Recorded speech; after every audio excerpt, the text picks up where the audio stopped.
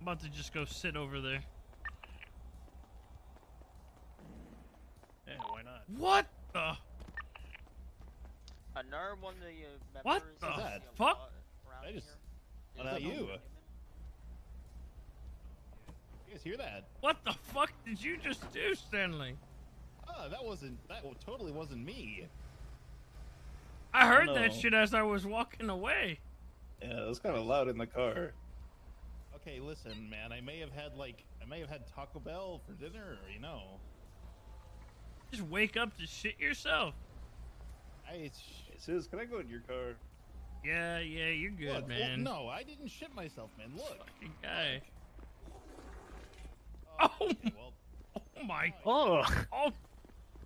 oh my. god, Oh my god. Just an email chain. Yeah, I I'm got gonna it. go in Sis's car, Stanley. Oh,